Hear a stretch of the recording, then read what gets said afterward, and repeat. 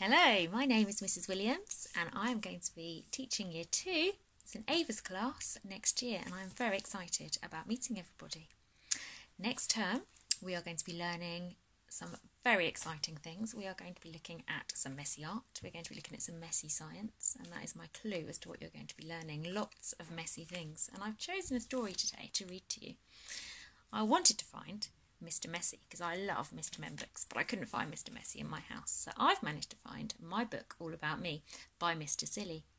And in this book, Mr. Silly can be very messy. So I want you to spot Mr. Silly being messy. And maybe in the holidays, you could draw me a picture of Mr. Messy if you can find him. My book about me by Mr. Silly. Mr. Silly wanted to make a book. What can I write about? he said to himself. He took a sip from his mug of hot toast. I know. I can write about me, he suddenly declared. So, Mr. Silly got a pad of paper and he began. He dipped a carrot into a pot of ink and he began to write. Messily. It's not easy to write with a carrot, but Mr. Silly did not use a pen. Very messy. That would be far too sensible. He wrote down the title My Book About Me. And then he wrote about the time he went to the Nonsense Land bookshop and bought a book. One page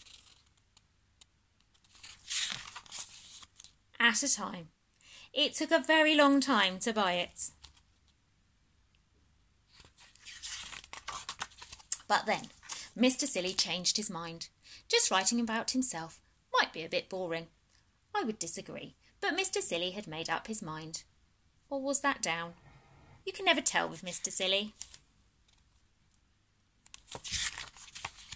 He decided he would include his friends in his book. If his friends were in the book, then they would want to read it. First of all, he wrote about Mr. Wrong. Mr. Wrong reads his books upside down. That is silly. Whereas Mr. Topsy Turvy reads his books back to front. So he would begin with the ending at the end and end with the beginning. Start with the beginning.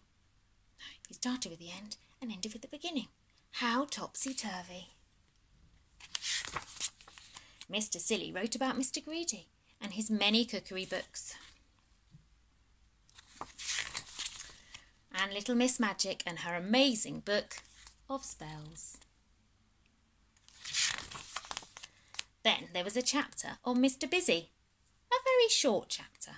Mr. Busy is too busy to ever finish a book. Finally, Mr. Silly wrote about Mr. Happy. Well, it's always nice to finish with a happy ending. Mr. Silly was very pleased with his story. He decided to invite around all his friends who were going to be in his book for the big reveal. But first, he had to make it. He went out to his shed and took down a saw and a hammer and a box of nails, which was a bit odd. It took him all night to make the book. Mr. Silly's book was big, as big as a house, with door. Mr. Silly opened the door and invited everyone in. Welcome to my book, he said. I have something to announce, he continued. You will be very pleased to hear that you will all be famous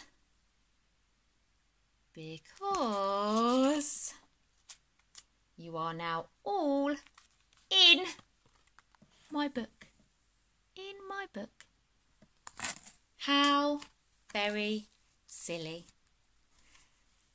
So I wonder if anyone could write me a little story over the holidays and bring it into school, or if anybody could draw me a picture of Mr. Messy over the summer holidays.